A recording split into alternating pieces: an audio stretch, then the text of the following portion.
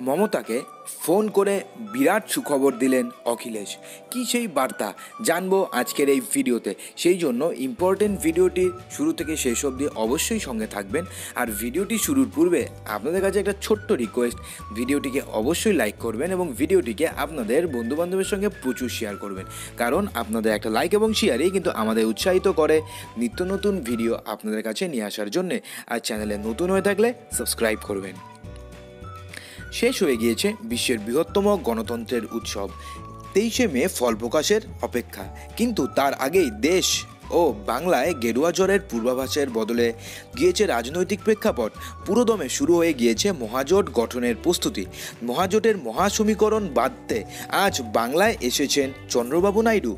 দেশের বিজেপি উত্থানের পূর্বাভাস পেতেই বাংলার মুখ্যমন্ত্রীকে ফোন করে আশ্বস্ত করলেন সমাজবাদী পার্টির নেতা অখিলেশ যাদব।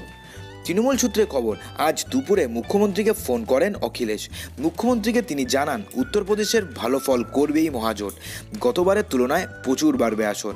জনমত সমীক্ষায় সমস্ত ভুল তথ্য প্রকাশ করা হয়েছে, প্রভাব খাটানো হয়েছে। উত্তরপ্রদেশে সপা, বসপা জোট পঞ্চাশটির বেশি আসন পাবে। এবার দিল্লি সরকার মহাজোটই গড়বে এবং সেখানে প্রধানমন্ত্রী হতে পারেন মুখ্যমন্ত্রী মমতা বন্দ্যোপাধ্যায়। এক্সিট পোল প্রকাশিত হওয়ার পর চরম বিরোধিতা করে মমতা বন্দ্যোপাধ্যায় স্পষ্ট জানিয়ে দেন, এসব গসিপ আমি বিশ্বাস করি না। বিরোধীদের মনোবল ভাঙতে নরেন্দ্র মোদীর গেম প্ল্যান এটা। পেটোয়া সংবাদ মাধ্যমের গর্বেটা শেয়ার বাজারকে তোলার জন্য আসল উদ্দেশ্য ইভিএম পাল্টে জনমত বদলে দেওয়া। বিরোধী দলের অনেকের সঙ্গে কথা হয়েছে। আপনারা সবাইকে আহ্বান স্ট্রং রুম পাড়া দিন। বাংলায় পদ্মফোটা স্পষ্টঙ্গিত মিলল একাধিক সংস্থার এক্সিট পোলে একাধিক সমীক্ষায় উঠে এসছে, পশ্চিমবঙ্গ থেকে বিজেপির ঝুলিতে ন্যূনতম এগারো থেকে সর্বাধিক বাইশটি আসন আসতে চলেছে। ভোট পরবর্তী এই আগাম ফলাফলে রীতিমতো প্রফুল্ল বঙ্গ বিজেপি।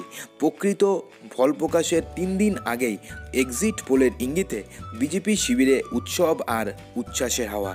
তাবৎ বুথফেরত সমীক্ষক সংস্থা জানিয়েছে, ফের বিপুলভাবে ক্ষমতায় ফিরছে মোদী সরকার।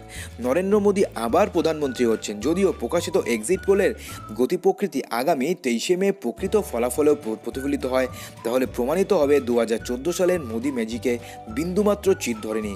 সিংহবাগ সমীক্ষক সংস্থার ফলেই দেখা যাচ্ছে। কয়েক মাস আগে যে রাজস্থান, মধ্যপ্রদেশ, ছত্তিশগড়ে বিজেপি ক্ষমতাচ্যুত হয়েছে এবং কংগ্রেস সরকার গঠন করেছে, সেই তিন রাজ্যের ভোটাররা কিন্তু লোকসভা ভোটে নরেন্দ্র মোদীকেই বেছে নিয়েছেন।